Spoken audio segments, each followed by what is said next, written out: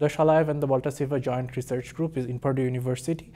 We specialize in plasmonics and metamaterials. And one really great thing about our group, aside from the research, is that it's, a, it's very diverse. Like I had the option of working with people from six different continents.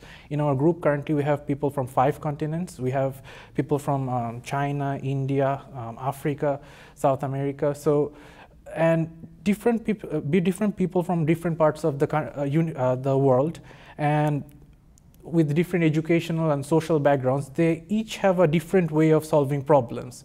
And sometimes, uh, I mean, the fastest way between two points is not always a straight line.